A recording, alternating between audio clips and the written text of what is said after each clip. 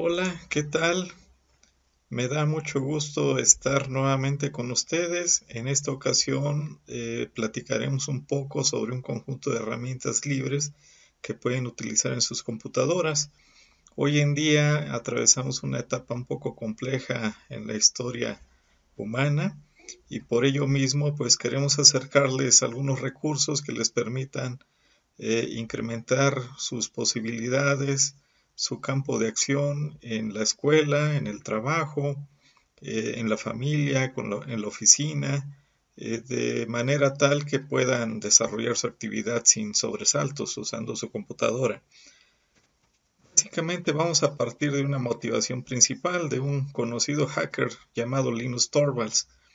Eh, en una publicación que salió en Finlandia, si no mal recuerdo, hace unos cinco años, comentaban en la ética del hacker y el espíritu de la era de la innovación que las motivaciones básicas del hacker recaen en tres categorías básicas. Eh, dentro de un proceso, entendidas como fases de un proceso de evolución. En orden de importancia, pues bueno, esas categorías comprenden la supervivencia, la vida social y el entretenimiento. Bajo esa premisa, el movimiento del software libre es que nos ha podido legar hoy en día un conjunto de recursos que nos ayudan a hacer nuestra vida cotidiana más fácil y más amena. Ya verán ustedes de qué trata esto.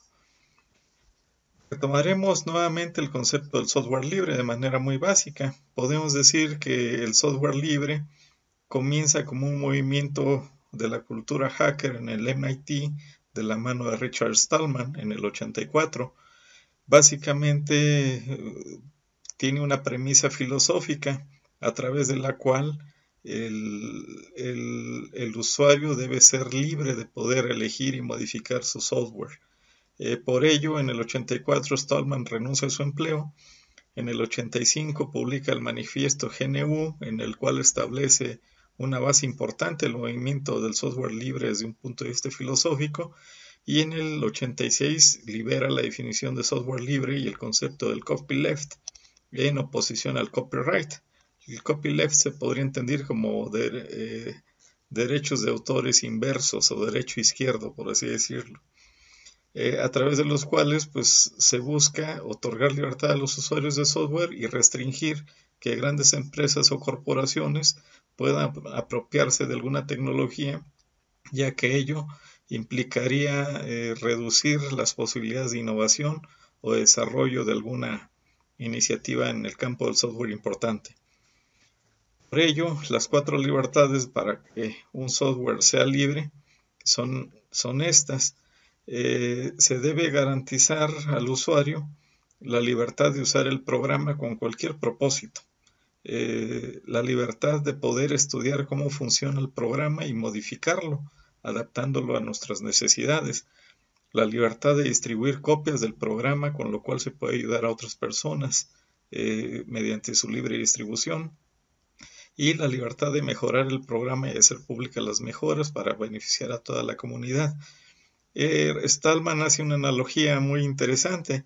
Él dice que generalmente cuando eh, nosotros tenemos una receta de cocina o heredamos alguna receta de cocina, pues tendemos a hacerle modificaciones para adaptarlas a nuestros gustos, a nuestra región.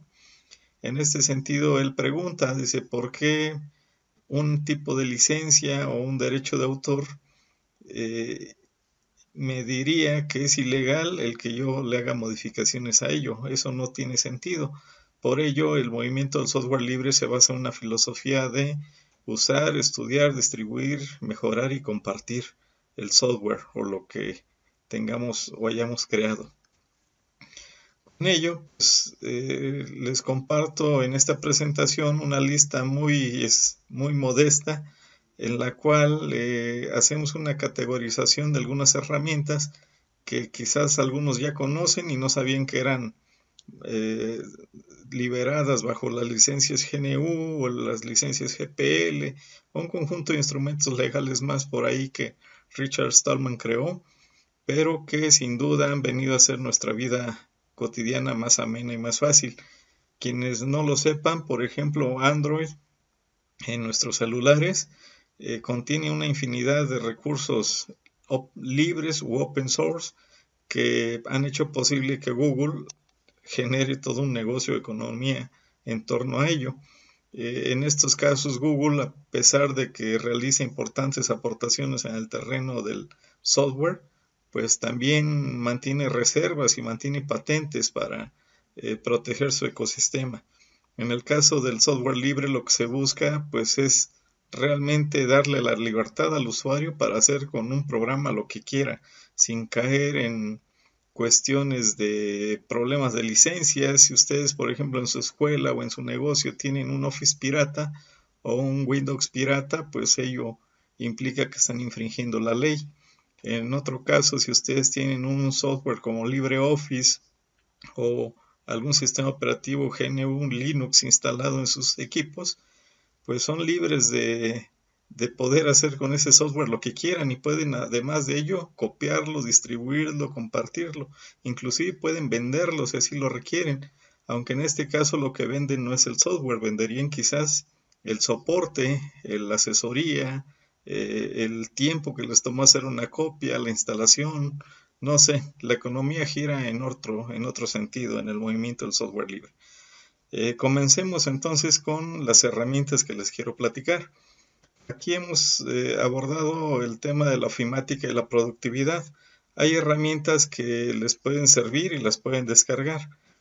En el caso, como opción número uno, tenemos a LibreOffice, que LibreOffice viene siendo una alternativa muy fuerte y robusta a, Microsoft, Office, a la suite de Office que todos conocemos. Técnicamente con LibreOffice pueden hacer exactamente lo que harían con Word, con Excel, con PowerPoint. LibreOffice cuenta con un profesor de textos, un, editor de hojas de cálculo, un gestor de presentaciones, un administrador de base de datos, un programa para editar gráficos vectoriales y pues un editor de fórmulas matemáticas. Este LibreOffice pues está disponible en más de 20 idiomas y está completamente gratuito para su descarga aquellas instituciones educativas o empresas que tengan problemas de licencia, sin duda alguna usen LibreOffice, que les va a ayudar bastante a poder continuar con las operaciones de su negocio sin necesidad de hacer pagos onerosos de licencia. La siguiente opción que les traigo pues viene siendo el navegador Mozilla Firefox. Mozilla Firefox eh, se deriva del motor antiguo de Netscape este, en el cual pues eh, la empresa como tal quebró, pero pues se conservó mucho del espíritu, equipo de desarrollo y tecnologías que habían sido desarrolladas bajo la Fundación Mozilla.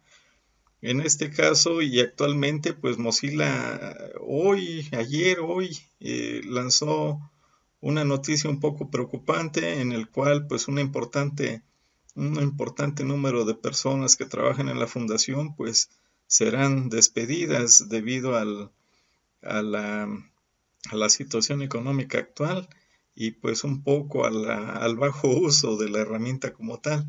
Yo aquí en este caso, para aquellos que usan eh, el navegador Google Chrome o aquellos que utilizan el Microsoft Edge o Opera, Vivaldi, yo les recomendaría mucho eh, ser un poco solidarios y utilizar Firefox en el sentido de que pues es un navegador libre que ha realizado importantes este, aportaciones a la comunidad del software libre y al mundo entero y del cual pues otras empresas como Google se han beneficiado.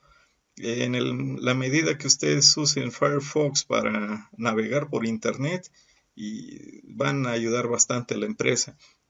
En este caso Firefox fue de las primeras que integró complementos eh, integró formas a través de las cuales ustedes podían personalizar su experiencia y pues este, mejorar el desempeño de su equipo. Además, si ustedes comparan en el día a día eh, el navegar en Firefox entre navegar con Google Chrome, verán que Firefox es más rápido. Google Chrome tiende a consumir mucho, mucha memoria y pues hacer que su máquina sea más lenta. En el caso de Firefox, no van a batallar con ello. Les dejo igual la dirección de descarga.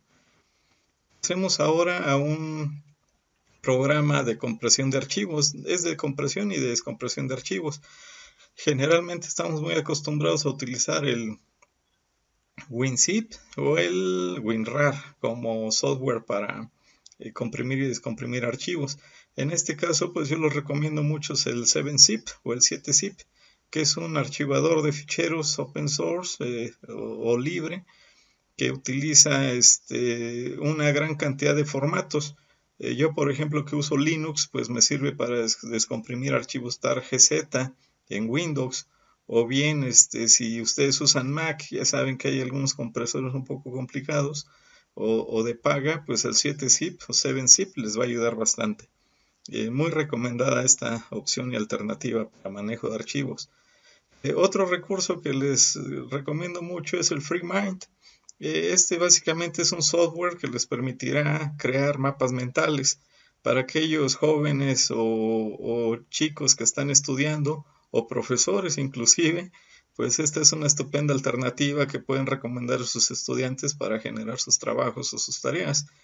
Eh, con una interfaz muy simple, este, pues van a poder crear mapas mentales que les permitan incorporar imágenes, links eh, u otros recursos por ahí. Está muy muy interesante y es completamente gratuito. Lo pueden copiar sin ningún problema. ¿eh? Eh, tenemos a continuación otro programa interesante que se llama Calibre. Calibre pues básicamente es un organizador de libros electrónicos que les permitirá también no solo eh, tener su biblioteca personal completamente organizada, sino también editar algunos libros, crear sus propios libros o leer sus libros en pantalla. Eh, además, si ustedes tienen algún lector de libros electrónicos como el Kindle de Amazon, pues van a poder sincronizar toda su biblioteca sin ningún problema, tanto de libros que hayan comprado en Amazon como de libros que hayan ustedes descargado por ahí o comprado en otras fuentes. Eh, Calibre pues es open source, está disponible para Linux, para Windows, para Mac. Eh, está muy muy interesante y pues es sumamente recomendable este, este programa. Por cierto, en, esta, en este punto yo les recomendaría mucho que se animen a inscribirse al curso de elaboración de libros electrónicos que tenemos en la Secretaría de Cultura.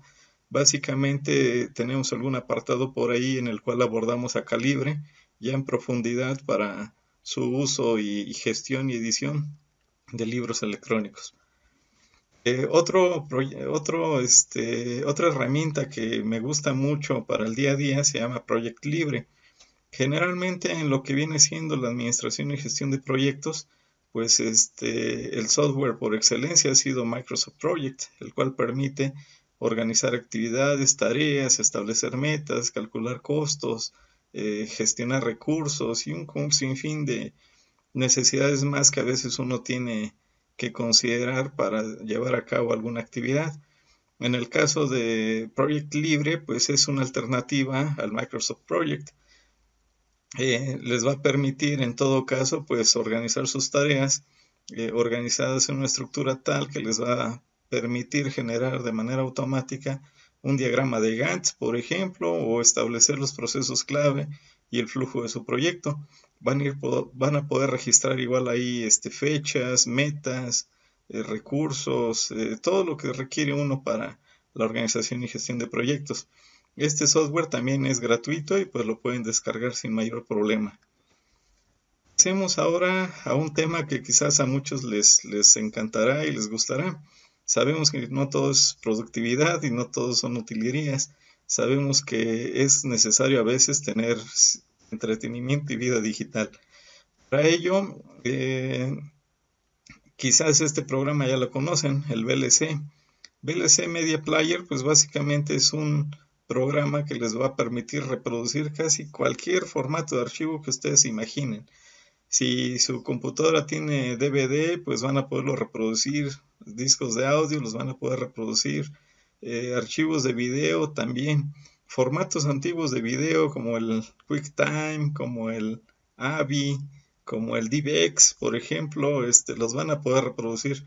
Archivos nuevos de video como el MKB, el Matroska, también los van a poder reproducir. Entonces, este, sinceramente no conozco un reproductor de video gratuito más completo que este. Actualmente pues ya se está aportando a dispositivos móviles, este, si no mal recuerdo para Android hay algunas alternativas. para iOS también y pues eh, no pierdan de vista este proyecto, les va a ahorrar cualquier cantidad de problemas. Generalmente hay archivos de video que en, algún momento llegan a nuestras manos y no los puede reproducir el Windows Media o el reproductor de video que trae Windows por defecto. Con VLC van a reproducir lo que sea, ¿eh? no, no duden de, este programa. Por otro lado, les tengo un, juego que está muy interesante. Eh, se llama Super Tux Kart. Super Tux Kart está basado un poco en la idea de videojuego que trajo Mario Kart. En este caso, pues el protagonista es un pingüino y sus amigos. Eh, van a poder disponer de múltiples escenarios, diversas, eh, diversos circuitos para realizar sus carreras eh, y pues en términos generales van a pasar horas y horas de diversión. Está muy recomendado tanto para chicos como para grandes. Es completamente gratuito y sin ningún problema lo pueden copiar y distribuir entre sus, sus compañeros. Está muy, muy, muy bonito y con unos gráficos muy, muy impresionantes considerando que aparte es gratuito, es open source este, este juego. Eh, aquí tenemos también a otro, otro juego de video llamado Super Tux.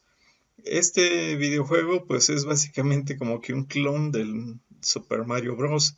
Con este programa, con este videojuego pues van a tener por ahí múltiples mundos a través de los cuales este, se enfrentarán a enemigos de todo tipo, obtendrán recompensas, encontrarán las cajas eh, con premios, recolectarán monedas y pues también eh, hay por ahí un editor de niveles donde van a poder ustedes crear sus propios, sus propios mundos. Está muy interesante. Si ustedes ven eh, en, tanto en el tanto en el Super Tux Card como en el Super Tux el protagonista es un pingüino. Y la razón de esto es de que básicamente el núcleo del sistema operativo GNU Linux eh, tiene una mascota, que en este caso la mascota de Linux es el pingüino. Y el utilizar el pingüino, pues bueno, es un símbolo como de, de libertad, un símbolo de la cultura hacker, de la vida en comunidad. Está muy interesante el SuperTux. Pasemos ahora al bloque de educación. En el caso del ámbito educativo, pues los docentes, los alumnos podrán tener unas herramientas muy interesantes. No les he puesto todas, pero considero que estas que les estoy, les estoy este, mostrando son las que podrán aportarles sin duda alguna eh, gran, este, grandes posibilidades a los alumnos, a los estudiantes y a los maestros. En este caso yo les voy a recomendar mucho esta herramienta que se llama GCompris. G-Compris contiene actividades para niños que van desde los 2 hasta los 10 años.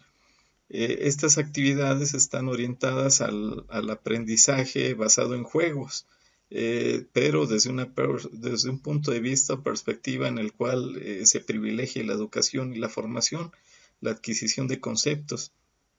Algunas este, actividades que tienen están orientadas al ámbito de las matemáticas, de la geografía, la naturaleza, la lectura, los números, los abecedarios, el alfabeto, la aritmética, contienen más de 100, 100 tipos distintos de, recursos que de manera progresiva permitirán eh, mejorar el desempeño de los estudiantes en las prácticas que ustedes les pongan.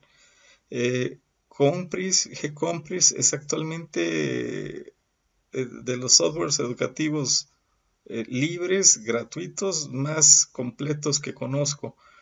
Eh, la motivación principal del proyecto es de que pues se tenga la posibilidad de compartirlos con niños de todo el mundo. Por ello mismo, en la medida que ustedes lo consideren y y, que lo consideren, recomiéndenlo con sus amigos, con sus compañeros. Si tienen niños pequeños en casa o niños con alguna cuestión de lenguaje de, o con quienes quieren reforzar matemáticas, les va a servir mucho. Igual para aquellos que se estén incorporando o utilizando la computadora por primera vez, existen algunas prácticas por ahí para aprender a usar el teclado, a utilizar el ratón. Este G-Compress igual ya está disponible para Android. por lo cual si tienen una tablet también lo pueden descargar y desde ahí lo van a poder este, eh, utilizar sus chicos. Utilizaremos ahora otro programa que se llama Scratch.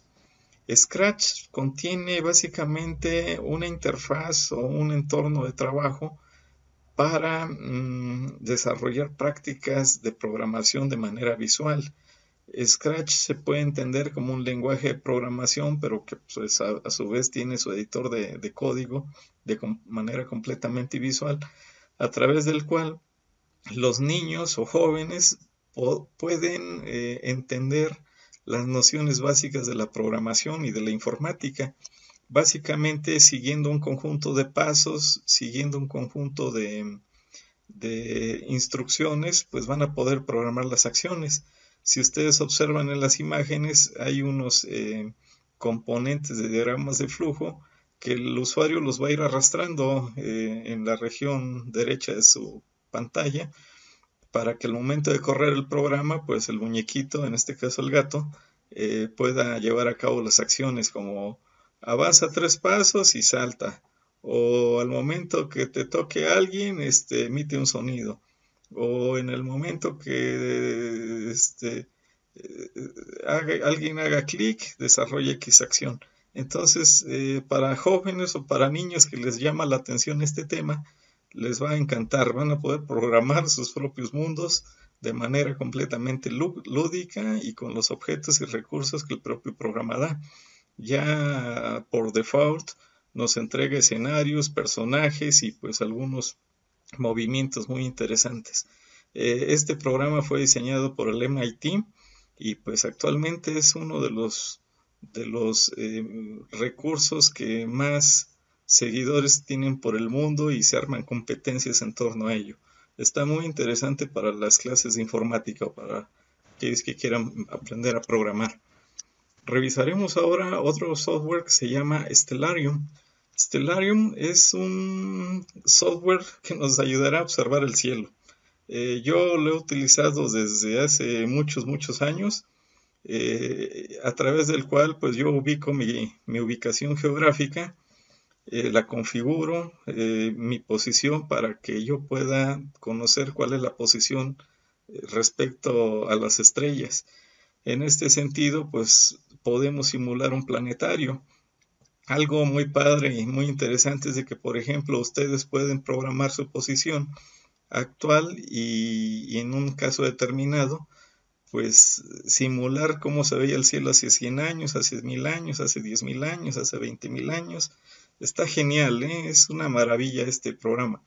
Además, eh, si ustedes tienen quizás un telescopio electrónico compatible, pues también van a poder, este, y si además su telescopio es programable, pues van a poder también este, apuntar algún objeto eh, celeste. Stellarium también cuenta con una base de datos impresionante de estrellas o de cuerpos celestes de los cuales pues pueden obtener datos muy relevantes como distancia, intensidad de la luz, este, posición en el firmamento, cuadrante. Es una maravilla, es completísimo este, este programa. Eh, yo, por ejemplo, em, en algunas ocasiones tengo dudas sobre qué objeto eh, brillante en el cielo estoy observando, pues bueno, recurro al estelarium y pues ya con base en el brillo y luminosidad, tiendo a darme una idea de cuál, cuál sería el nombre de dicho objeto. Está muy recomendable este programa, igual es gratuito y pueden compartirlo sin mayor problema. Hacemos ahora el tema del audio y video. Con respecto al audio y video hay un software llamado Audacity. Audacity, desde que salió su simplicidad de uso y su poder, eh, desplazó en su momento a un gigante en ese momento que era eh, el famoso Adobe Audition, que antes se llamaba Cool Edit, y pues bueno, vino a cambiar todo el panorama. Eh, quizás algo que le impidió en su momento ser todavía más eh, masivo en su uso fue el hecho de que al ser, al ser software 100% libre, pues no incluía el códec de compresión para MP3 y uno tenía que descargarlo copiarlo en una carpetita por ahí, pues bueno, eso sigue siendo un poquito complicado para aquellos que no son eh, no son personas muy técnicas. Sin embargo, hoy en día el poder incorporar esos formatos de compresión de archivos que son propietarios, como MP3, este, ya es más, más accesible y asequible hoy en día. Además, ya Audacity permite trabajar de, mediante algo que se llama las multipistas y pues ya van a poder hacer sus mezclas. Originalmente pues se trabajaba solo una pista. Eh, con Audacity van a poder grabar en tiempo real y pues van a poder convertir, todo tipo de archivos siempre y cuando ustedes instalen el codec.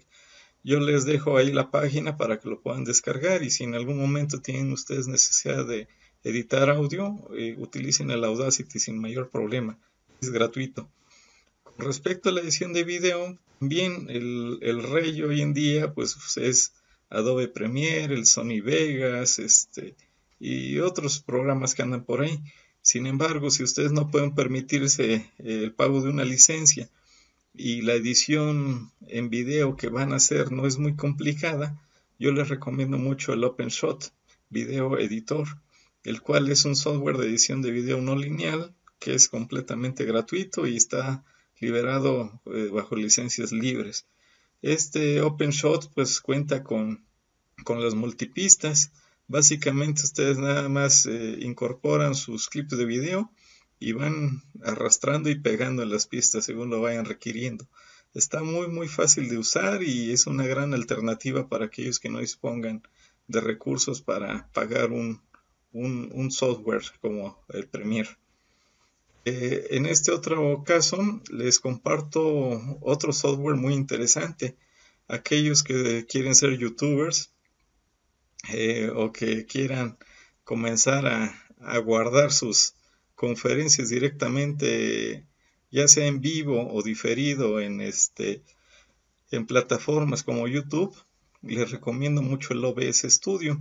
OBS pues viene siendo básicamente un software que inició en el 2014 y que hoy en día pues es la herramienta libre y gratuita por excelencia que casi todos aquellos que realizan transmisión de video en vivo o de manera diferida este, es la herramienta de su predilección. Eh, Open Broadcaster les permite configurar y conectarse directamente a plataformas como YouTube o Vimeo para publicar sus producciones. Eh, está muy muy fácil de usar. Pueden ustedes con él compartir pantalla y crear y organizar muchas eh, escenas y, líneas de, producción de video para em, hacer sus transmisiones de una manera muy fácil, con pocos clics. Está muy muy padre este programa, yo se lo recomiendo mucho el OBS, sobre todo si quieren empezar a ser youtubers, está padrísimo. ¿eh? Eh, ahora, con respecto a herramientas para eh, edición gráfica y diseño, yo les voy a abordar eh, una herramienta que me ha gustado mucho. a mí en lo personal, pues siempre me ha gustado el tema de la pintura, pero no así mm, el hacerlo de manera física.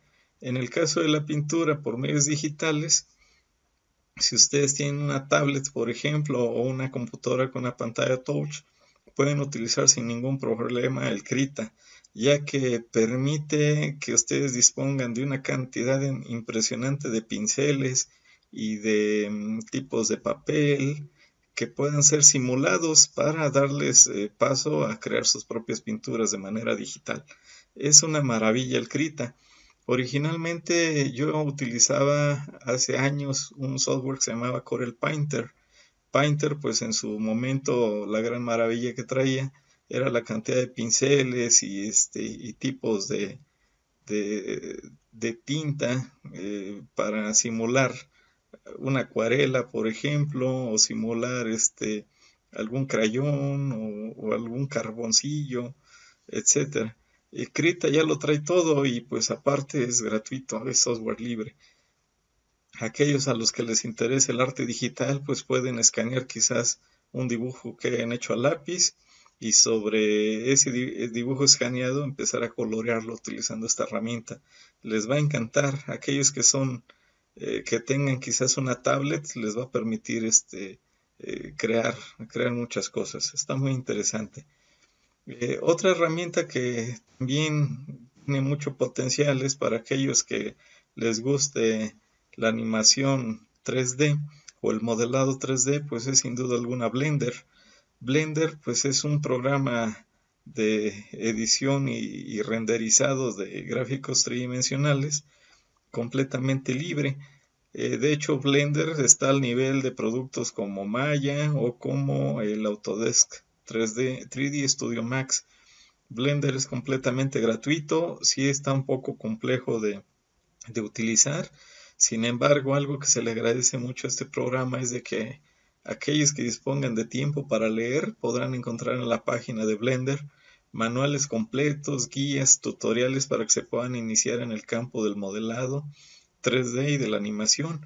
Eh, hoy en día tengo entendido que ya implementa algunas cuestiones de física, con lo cual pues van a poder entrarle a un tipo de animación más, más complejo. Eh, Blender también, la Fundación Blender, tiene por ahí en su página en internet eh, un apartado dedicado a los videos que han sido generados mediante el uso de esta herramienta. La Fundación Blender pues promueve el desarrollo de cortometrajes y pues algunos de estos cortometrajes han sido galardonados. Lo impresionante de todo esto es de que pues ha sido con herramientas open source, 100% libres y gratuitas que no han costado nada a sus creadores. Eh, en este otro recurso que pongo a su consideración les va a servir mucho a aquellos que se dediquen a la fotografía Generalmente eh, la herramienta por defecto que los fotógrafos de hoy utilizan pues viene siendo el Adobe eh, Photoshop y el Adobe em, eh, ay, olvidé, olvidé, el nombre. Em, no obstante, lo que se busca y se pretende con este recurso es de que ustedes puedan disponer de un entorno a través del cual organicen su material fotográfico o ingresen en un, proceso de revelado, por así decirlo, de revelado digital, edición de metadatos, eh, revisión de algunos niveles, modificación de la fotografía, eh, aplicación de algunos filtros. Está padrísimo este, este programa. Eh, es una maravilla, es también open source, lo van a poder encontrar y descargar tanto para Windows como Linux o para sistemas operativos OS X. Sin duda alguna, este software pues es una alternativa para, el fotógrafo. Tenemos aquí otra herramienta también que se llama Inkscape. Inkscape eh, podría considerarse como una alternativa gratuita a lo que era o a lo que es el Adobe Illustrator. En este caso con Inkscape podrán crear gráficos vectoriales. Eh, lo padrísimo de esto es de que, pues bueno, al ser software libre utiliza estándares libres, por lo cual el producto que generen puede guardarse en un formato SVG, que es el del Scalable Vector Graphics.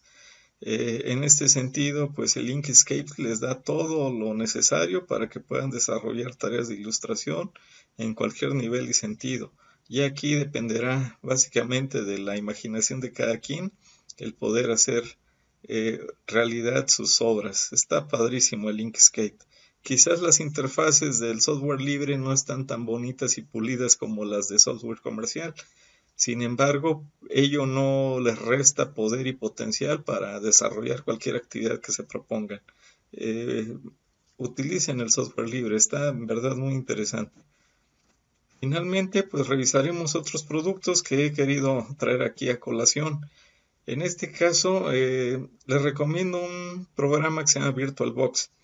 VirtualBox básicamente les va a permitir crear y construir máquinas virtuales eh, utilizando los recursos que ustedes tienen en su propio equipo y compartiéndolos. Quizás ustedes tengan por ahí una computadora personal con 8 GB de memoria, por ejemplo, y tengan quizás este, un disco duro de un tera. Quizás entonces ustedes digan, quiero eh, explorar alguna alternativa gratuita, quiero instalar, por ejemplo, Linux, pero no la quiero instalar en mi computadora, quiero saber de qué trata antes de, antes de hacer cosas. Entonces, pues con VirtualBox ustedes pueden crear máquinas virtuales a las cuales ustedes le digan, ¿sabes qué? Quiero crear una máquina virtual que disponga de 2 GB de RAM y un disco duro virtual de 40 GB, por ejemplo. Entonces, de manera segura, ustedes podrán crear un equipo con esas características y echarla a andar sin mayor problema.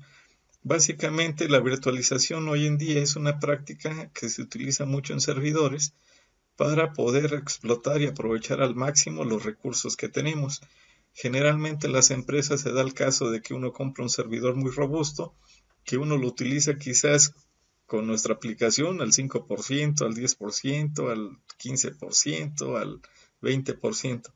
Eh, VirtualBox nos ofrece hoy en día la posibilidad de dividir los recursos en máquinas virtuales para poder instalar y disponer de múltiples sistemas operativos. Quizás en una máquina con 8 GB de RAM puedo tener tres sistemas operativos con 2 GB de RAM cada uno y pues estar eh, funcional y entregando servicios en aplicaciones. Eh, es una maravilla VirtualBox. Aquellos que estén interesados en la virtualización, VirtualBox es una estupenda alternativa para poder optimizar recursos en un negocio. Eh, en este otro caso, pues yo también les recomiendo mucho explorar los sistemas operativos GNU Linux. Básicamente GNU Linux son eh, conocidos como, son entregados al usuario común a manera de distribuciones. Una distribución GNU Linux pues contiene el conjunto de programas que van a poder hacer eh, de su vida algo más fácil. hay sistemas operativos para servidor que generalmente uno entra en un modo de consola o de texto, por así decirlo, o como en, el como en este caso les, les planteo lo que viene siendo una distribución Debian, Red Hat, Ubuntu, CentOS, OpenSUSE. Estas distribuciones disponen de entornos gráficos eh, a través de los cuales pueden utilizar el LibreOffice, tener su navegador Firefox, tener su reproductor VLC y, e infinidad de programas más. Eh, los sistemas operativos GNU Linux, si ustedes eh, no se sienten muy cómodos o seguros en instalarlos en sus máquinas, yo les recomiendo experimentarlos antes eh, mediante la, creación de máquinas virtuales en VirtualBox. en otro sentido, pues sí podrían quizás correr el riesgo de eliminar algunos datos de su computadora si es que no tienen muy claro el concepto de particiones. Por ello mismo, eh, si no saben lo que están haciendo con GNU Linux, yo les recomiendo primero explorar VirtualBox. VirtualBox es este, la opción que tenemos para echar a perder. Eh, y en otro caso, si ustedes van a empezar a trabajar con Linux en su PC, eh, sí es recomendable que sepan bien qué están haciendo o si no, asesorarse y buscar a alguien que les pueda dar una orientación con respecto al tema, para evitar pérdida de datos sobre todo. Eh, y finalmente, pues bueno, eh, yo termino con esta frase de Richard Stallman, que me gusta mucho, en la cual dice que de nuestra filosofía depende nuestro futuro. En la medida en que podamos utilizar software libre y podamos compartir estas herramientas, creo que podremos ser partícipes de construir una comunidad mayor y de poder ser solidarios con nuestra comunidad. De mi parte es todo. Los invitamos a continuar pendientes de los cursos y talleres que imparte la Secretaría de Cultura, con lo cual pues me reitero a sus órdenes eh, para cualquier tema o asunto que les gustaría poder abordar. Muchas gracias por estar con nosotros. Eh, que estén muy bien.